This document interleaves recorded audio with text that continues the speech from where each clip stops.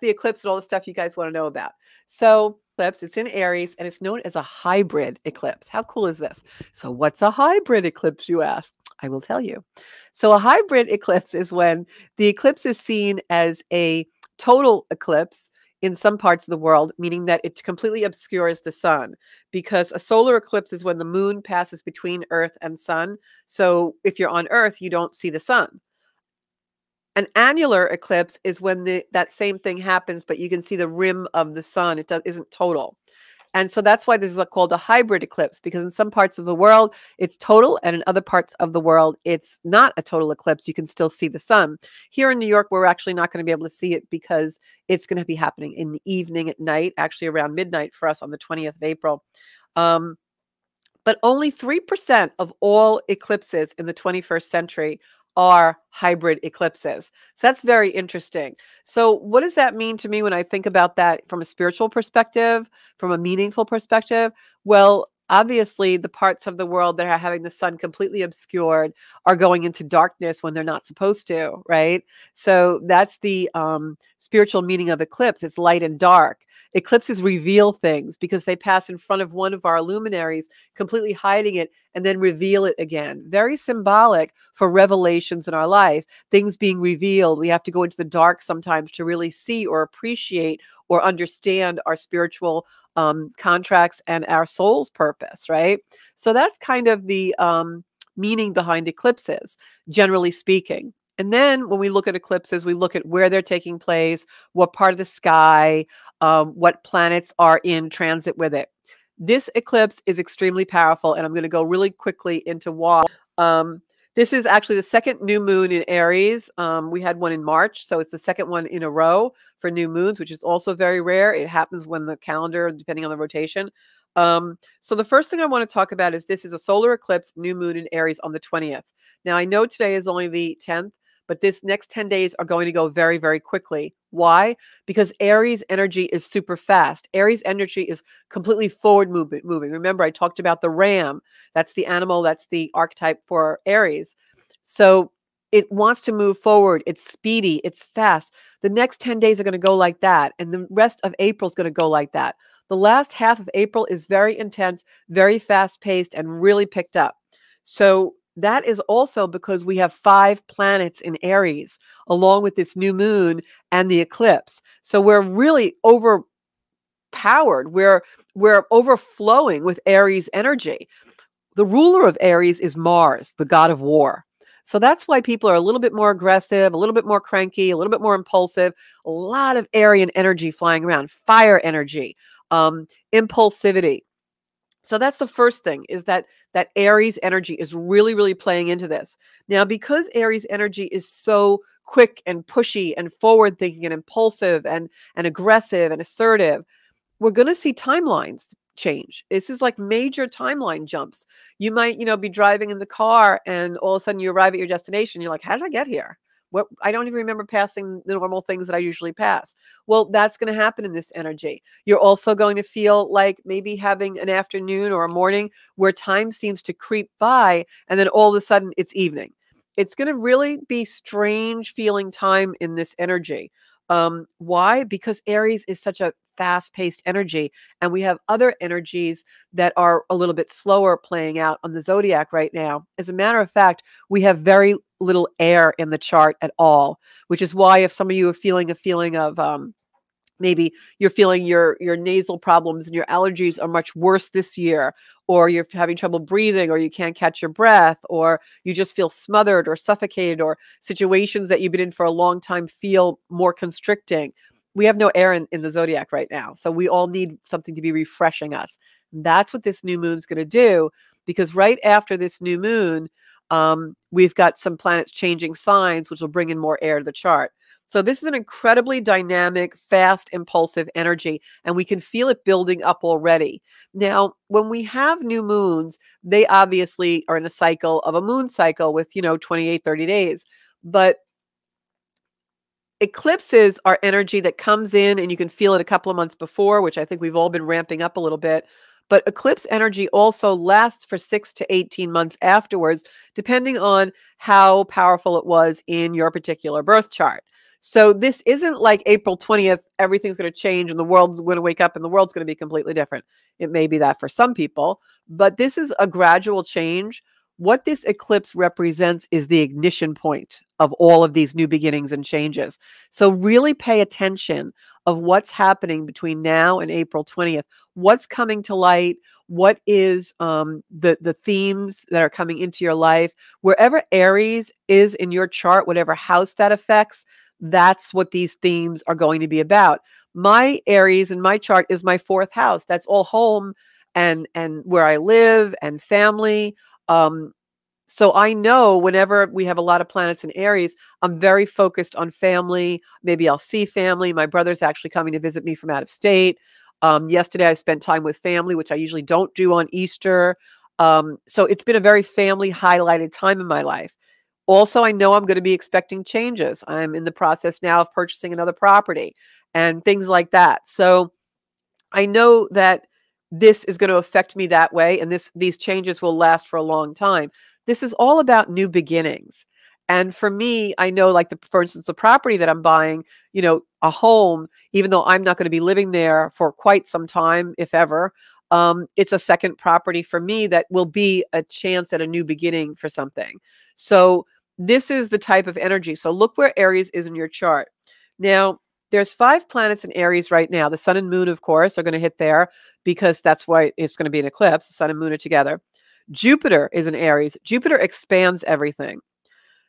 Chiron is in Aries. That's our wounds, where our wounds come from, the wounds we bring into this lifetime in order to heal them. And then the fifth planet that's in Aries right now is a planet called Eris. Eris is the goddess of discord. Eris, a lot of people call her the bad witch you have to invite to the party because if you don't, something bad's going to happen. Because the story of Eris is that Eris was not invited to a party, and so she arranged for the people at the party to eat some poison apples. So that's the mythology behind Eris. You can find that online and read it.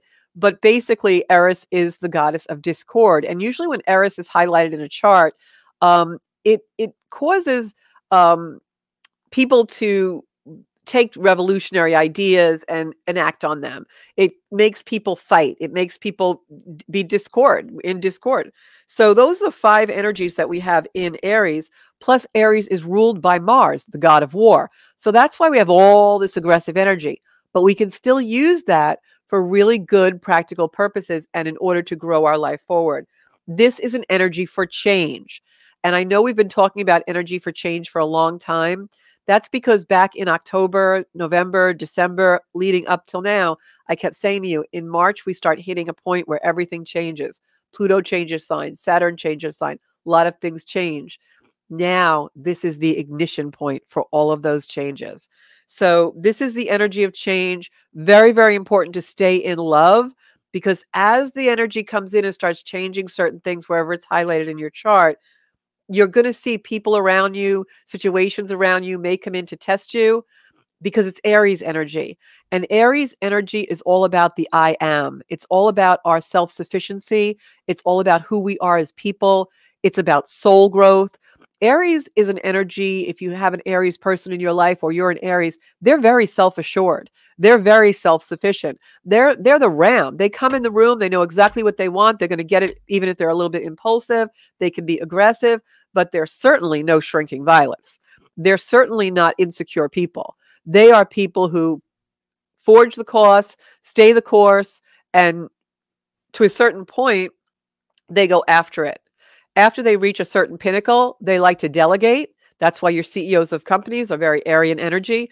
But Aries is an energy of assertion. It's also this particular um, energy is a north node eclipse as opposed to a south node. North node eclipse means it's about our destiny, it's about our soul mission, it's about our fate. So put all that stuff I just said together and what does it mean in a couple of sentences? This eclipse is going to wreck things. This eclipse is going to come in. It's going to be really aggressive. It's going to break things down. It's going to crumble old structures. Why? Because anything that's not of your soul purpose, this eclipse over the next few months is going to bring that to highlight. It's going to bring that to a level of intolerance so that you have to change it. Aries energy is all about how have I changed and grown to understand myself? What are the blockages in your way preventing you from doing that? This eclipse is going to tear them down. That's that's it in a nutshell. Then we have other things happening right alongside this eclipse. First thing is the north node that's really affecting this eclipse in July, that goes into Aries. So leading up to that, it sets up a very intense energy for the next 18 months. But it's intense energy that we can use to propel our life forward. It can be really motivating if we stay out of the conflict, out of the discord that Eris is going to cause, and out of the destruction that Pluto squaring this eclipse is going to cause. Pluto is the planet of transformation. Pluto transforms by destroying things on us. It doesn't do that to be mean. It does that because in the end we're grateful. Um, you know, the things that we can't see, we have a blind spot about. Well, Pluto comes in and, and changes them so that we're like, wow, that was one of the hardest times of my life, but I'm so grateful for it because it brought me where I am now. So it's really almost like a healing crisis but the beautiful thing about this is that we emerge with a sense of self and self-sufficiently that we've ne- sufficiency that we've never had before.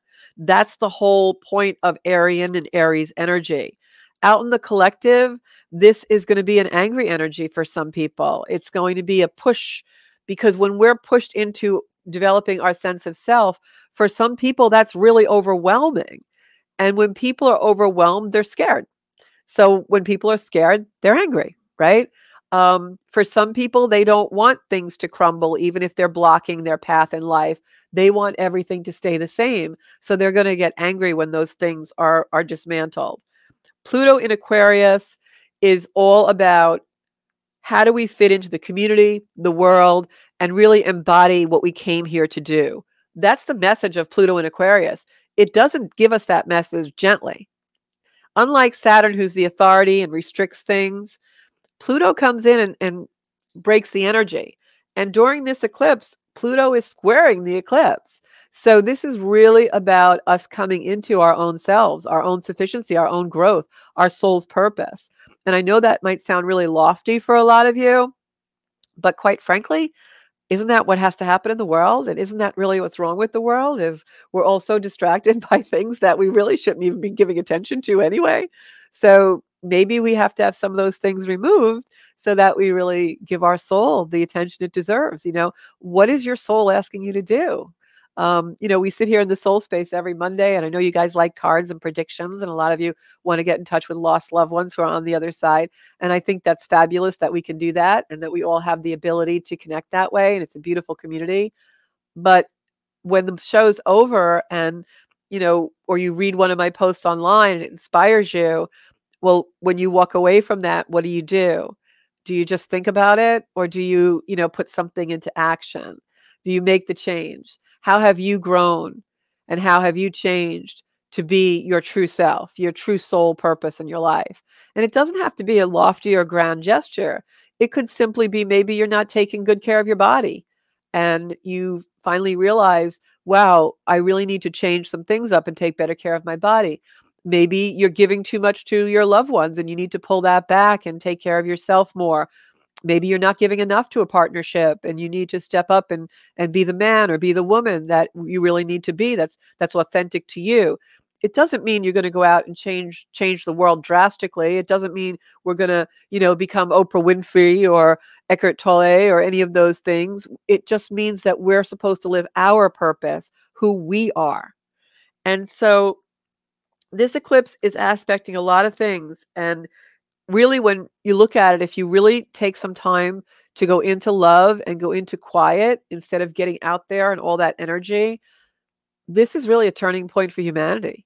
You know, and you might think that's an overstatement. You might think that's melodramatic, but it's really not.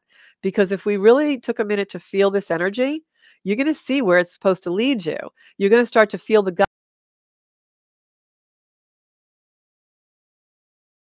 guidance of the stars and the moon and and the planets and, and the universe and our creator. You know the same energy that created all of those beautiful planets and the world and and the energy that we feel when we hug somebody and the energy i feel when i give reiki along with the energy of anger and the negativity that we sense in our lives that was all created for us. So if we took a few minutes every day just to go in that and then internalize it to a point where we're connecting and thinking about our own soul's growth and what am I really feeling? What am I really hearing? What is it that I really want to do out in the world that up until now I thought was just a dream? That up until now I thought it was the thing somebody else was going to do, when all along I've had the ability to do it. If I step up, grow up, become self sufficient, stop depending on others, and really step into my soul. And so that's what's going to start happening with this eclipse. I know it sounds like a lot, but this is a new episode in our evolution.